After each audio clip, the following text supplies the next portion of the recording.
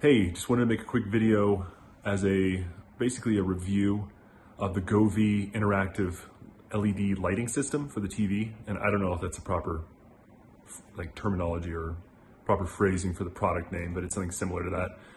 Anyway, you can see it in the background right there. And I just want to give my thoughts. Some things that I like, some things I dislike, some things to watch out for because I ran into some problems during the setup and I was really stumped on what was going on because I kept on running into problems where the lights were not showing uh, proper, I guess the, the proper lighting around the edges. And I want to show you some ways to fix that. First things first, let me just show you a quick sample of what this looks like. And I'm doing this during the day, so I have a lot of light in the background. So, so excuse me if the LEDs don't look, you know, at their best, but they look pretty cool.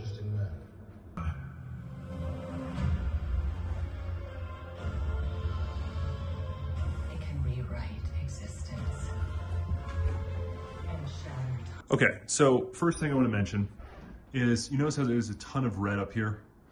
The reason for that is because the way the camera is set up, the camera is right here and it points down and it tries to mimic the colors on the screen and then shoots it along the edges, okay? Now, if there is a glare from, let's say, uh, a recess light like this one, or just really any light in the room, it will pick up on that as well. So you wanna make sure that there isn't a ton of glares going on on the TV screen. Also, you'll notice that I have these Christmas drapes, which I'm gonna be replacing soon.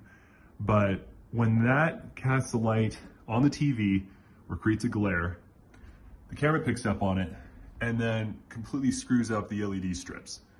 So even if you do the whole calibration and everything that they instruct in the, in the installation manual, you're still gonna run into this problem if you have a serious glare on your screen.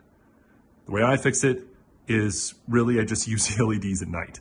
Um, that's when you're gonna get the best results.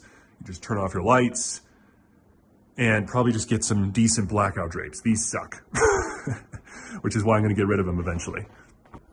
Now, a quick comment about the calibration. If you're wondering what the calibration's for, uh, when you set this up, basically it's trying to, it takes a, a screenshot, sends it to the app, or it takes a snapshot, sends it to the app, and it kind of gives you a view of what it's seeing on the TV. And then what you do is you kind of create uh, on the app a shot or, or a lot, basically you have to create a line around the areas you want it to capture. And in the in the box when they send it to you for the installation, they have these little orange blocks. I threw them away, so unfortunately I don't have it during this video. But they have you put them in each corner, um, basically as a guide during the installation process. And you know, you can look through the installation videos they have online or through the manual and the, they'll take you through step by step on how to use that. Another thing I wanted to mention is make sure that you have the LED strips on the right side of the TV uh, or the correct side of the TV because when I was following the instructions, uh, it said to place it on the back near the bottom and depending on the thickness of your TV, you might have to put it on the, the absolute bottom of the TV, not the back of the TV, or it's just gonna cover up the LED strips, which you don't want. So I lost a little bit of the stickiness here uh, due to moving it a couple times to get it right. Um, and also, don't try to apply it while it's on the wall, the LED strips. I attempted to do that, didn't work out great. So I just removed the TV and I laid it on a couch and then I applied it to the back of the TV and then put this back on the wall.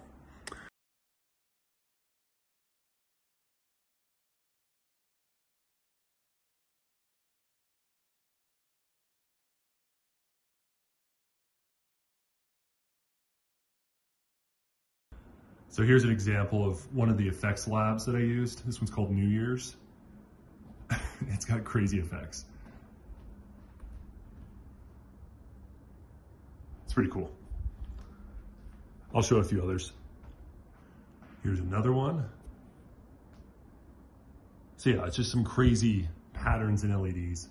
Just entertaining to play with.